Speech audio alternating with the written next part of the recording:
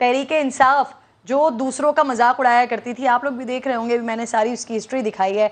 आज खुद ही उसी पोजीशन में आ गए ना वो कहते हैं tables are always round sir तो आप तो आप लोग भी तो यही नहीं करेंगे या आप भी कुछ सीख रहे हैं इससे?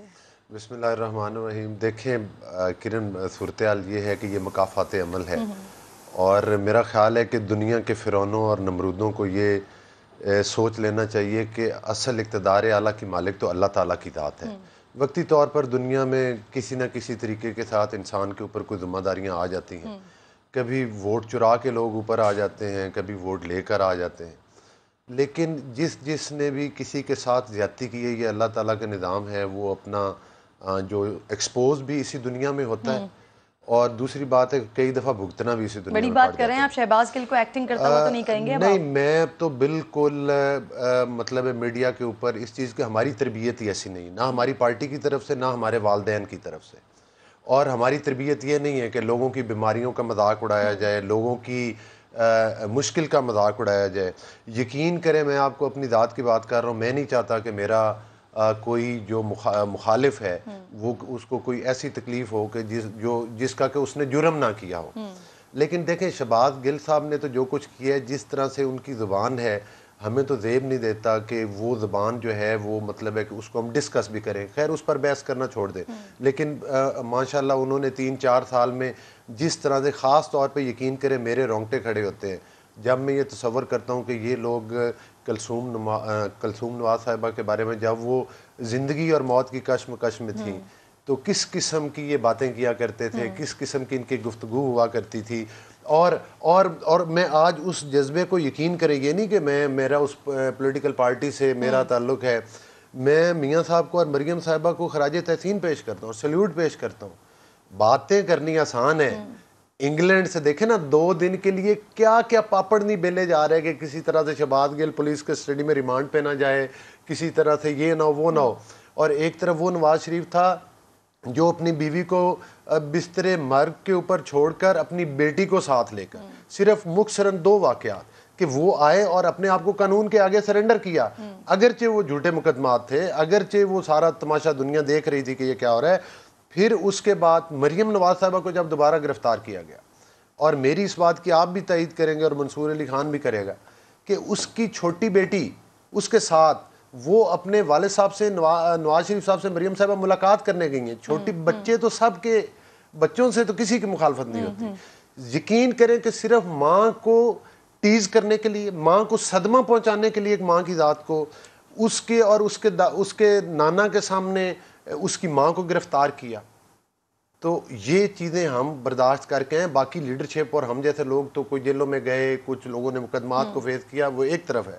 लेकिन ये एक माइंड सेट है। ये माइंड सेट शहबाज गिल का नहीं है। ये माइंड सेट इमरान खान का अच्छा। अफसोसनाक सूरत ये है हम्म, हम्म। कि ये माइंड सेट मैं समझता हूँ पीटीआई का नहीं है। हम्म। ये ये वो बुगत है जो अमेरिका में भी खड़े होकर ऐलान करता था कि नवाज़ शरीफ मैं तुम्हारे एसी बंद करवा दूँगा। और लल, मतलब है कि ये ललकार ललकार के कहते थे न्यायी साहब कि मैं फलां को जेल में भेजूँगा मैं फलां को और और वाकई इनके कहने पे लोगों को जेलों में भेजा आ, जाता आपने था। अच्छी बात की कि आप ये नहीं चाहते कि मुखालिफ को भी तकलीफ़ पहुँचे ये आपने अच्छी बात की। मंसूर सलामकुम शहबाज गिल साहब का जो जिसमानी रिमांड था वो अड़तालीस घंटों के लिए था अब उनकी तबीयत भी नासाज है। जो मेडिकल रिपोर्ट आई है, मजीद कुछ उनके टेस्ट हैं एक्सरेज वगैरह हो रहे हैं तो आप समझते हैं कि ये तो इस्लामाबाद के पुलिस के लिए मजीद रिमांड लेना मुश्किल नहीं हो जाएगा? वो अड़तालीस घंटे तो हॉस्पिटल में गुजर जाएँगे सारे। बहुत शुक्रिया किरण। देखिए, मेरा ख्याल में यहाँ पे जो एक बहुत बड़ी गलती हो रही है और जो थोड़ा सा अभी जो मैं आपके मेहमान है, मैं उनकी गुफ्तु सुन रहा था यहाँ पे डिबेट या डिस्कशन ये मेरे ख्याल में नहीं होनी चाहिए कि जनाब वो देखें जी वो हमारे साथ भी ये हुआ था और हमारे दौर में भी आ, इसको उस तरह गिरफ़्तार किया गया। इसके बारे में वो कमेंट्स होते थे। इसके बारे में शहबाज गिल साहब ये कहा करते थे। इमरान खान साहब ने ये कहा हुआ है। मेरे ख्याल में मैं मैं खुद इन तमाम चीज़ों का मैं खुद विक्टम रहा हूँ। शहबाज गिल साहब ने मेरे बारे में भी बड़ी ही नाजेबा किस्म की जबान इस्तेमाल की थी लेकिन at the end of the day मैं यहाँ पे ये नहीं कह सकता कि जनाब मैं चूँकि मेरे साथ हुआ हुआ है तो जनाब इसलिए बदले के तौर पर ये सब कुछ ठीक है। असल बात यह है कि क्या रूल ऑफ़ लॉ कानून को फॉलो किया जा रहा है या नहीं किया जा रहा? शहबाज गिल साहब के हवाले से और मैं ये दोनों साइड्स के बारे में कहूँगा मैं हुकूमत के बारे में भी बात करूँगा और पाकिस्तान तरीके इंसाफ के बारे में भी। अगर आप हुकूमत को उठा के देखें तो जिस तरीके से जो फुर्तियाँ दिखाई गई हैं, जिस तरह मिसाल के तौर पे शब- शहबाज गिल साहब के लिए जनाब जिस्मानी रिमांड मिल गया, एक दफ़ा मिल गया, दूसरे जज से रिजेक्ट, वहाँ से दोबारा जब अप्लाई किया, रिजेक्ट हुआ, एक और जज के पास गए, वहाँ से रिजेक्ट हुआ, इसको इस्लामाबाद हाई कोर्ट लेकर गए, इस्लामाबाद हाई कोर्ट ने दोबारा सेशन जज के पास भेजा। सो इट लुक्स के ये पूरी तरह मतलब शहबाज गिल को जो है वो किसी सूरत छोड़ना नहीं हमने। हमने इसको जो है, हर सूरत जो है वो सज़ा देनी है, ठीक है? हुकूमत जो है वो कर रही है। जारी बात है, इनको खुद भी जख्म लगे हुए हैं, पुराने जख्म है, जिसका वो बदला ले रही हैं। लेकिन दूसरी जगह पे इमरान खान साहब को भी आप उठा के देखिए कि वो बैठ के जो है वो पूरी की पूरी पंजाब की जो एडमिनिस्ट्रेशन है, उसको शहबाज गिल साहब के लिए जो है वो क्या कुछ करने के लिए तैयार है? कि नहीं जी, हमने, कल रात को जो ड्रामा हमने देखा, कि नहीं जी, हमने हैंड ओवर ही नहीं करना। हमने देना ही नहीं है शहबाज गिल को। कितनी देर तक इस्लामाबाद की पुलिस जो है वो जेल में पहुँची हुई थी और उन्होंने कहा, नहीं जी, हमने शहबाज गिल को नहीं देना। आप किस तरह कर सकते हैं सब कुछ? आप नहीं कर सकते। आप ये नहीं कह सकते कि जनाब हम नहीं हैंड ओवर करेंगे क्योंकि एक रूल ऑफ़ लॉ है एक कानून है। आप सिर्फ़ एक शख्स की खातिर पूरी की पूरी एडमिनिस्ट्रेशन को इस तरह जैम नहीं कर सकते। और अल्टीमेटली फिर जब रेंजेस वहाँ पे पहुँचती हैं तो शहबाज गिल को आप हैंड ओवर कर देते हैं। और अभी तक इमरान खान साहब के दिल में जितना तो कोई दर्द है शहबाज गिल के लिए वो अभी तक एक दफ़ा मिलने तक नहीं गए उनसे। अभी तक कोर्ट रूम में नहीं गए शहबाज गिल से मिलने के लिए।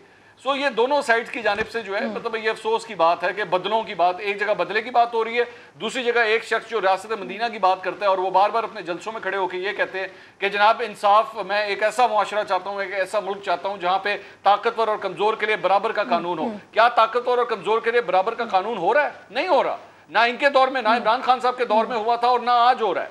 ये लोग भी बैठ के नून लीग वाले भी जो है वो अपना बदला निकाल रहे हैं। इनकी भी ये सारी चीज़ें नोट होंगी ऐसी बात नहीं है कि नून लीग भी जो है वो स्किप कर देगी अच्छा मंसूर मंसूर एक बात अभी मैं सोच रही थी इमरान खान साहब जी, इमरान खान साहब अभी जिस कॉन्फ्रेंस में मौजूद थे, वहाँ पर गुफ्तगू वो कर रहे थे तो अब आपको पता है कि इस वक्त पाकिस्तान तहरीक इंसाफ की सोशल मीडिया ब्रिगेड हम वक्त तैयार रहती है। और खान साहब से बारह ये कहा गया कि खान साहब, आप ये क्लियर करें, ये अपने लोगों को कहें कि वो जिस तरह का प्रोपेगेंडा कर रहे हैं, वो ना करें। लेकिन आज फिर खान साहब ने अपने कॉन्फ्रेंस में ये बात कर दी है कि जी जो न्यूट्रल्स होते हैं या जिनके पास पावर होती है होती है, ऐसा हो नहीं सकता कि आपके पास पावर और ज़िम्मेदारी किसी और के पास हो। तो अपनी ज़िम्मेदारी अदा करें, अपने फैसले पर दोबारा नजरसानी करें, वरना आवाम आपको ब्लेम करती रहेगी। ये ये खान साहब ने एक बार फिर वही, उसी फिजा को अब कायम करने की कोशिश की है। जरा मैं चाह रही हूँ, अगर हमारे पास आ गई ये चीज़ें तो हम सुनवा दें, फिर इस पर डिस्कशन करते हैं। तो मुझे इस्टेब्लिशमेंट की तरफ़ से कई दफ़ा मुझे आई एस आई ने मुझे बताते थे इनकी चोरी के, ये जी फलाने, इन्होंने इतनी चोरी की। और जब मैं फिर प्राइम मिनिस्टर बना तो मुझे तब भी समझ ना आया कि केसेस सारे मच्योर हैं, क्यों नहीं पकड़े जा रहे हैं? तो बाद में पता चला किसी का शफकत का हाथ था, वो कभी एक्सीटर दबा देते थे, फिर कभी वापस आ जाता था। हम जनाब देख रहे हैं, तमाशा, गालियाँ हमें पढ़ रही है कि जी आपने। लेकिन मैं ये सवाल पूछता हूँ इस्टेब्लिशमेंट से कि आपने इन लोगों को कैसे हमारे मुल्क के ऊपर मुसलत होने दिया? जबकि आप खुद ही बताते थे कि इनकी कितनी चोरी है। इसका तो ये मतलब कि चोरी आपके लिए बुरी चीज़ नहीं है। सोशल मीडिया के लोगों को जिस तरह उठाया जाता है, कईयों को उठा के फिर जिसने कोई फौज के खिलाफ ट्वीट की हो, उसे कहते हैं, उसे पहले उठा लेते हैं, फिर कहते हैं अच्छा ये नहीं कि मेरे से माफ़ी मांगो। कहो कि, इमरान खान ने कहा मेरे, इनके खिलाफ ट्वीट करवा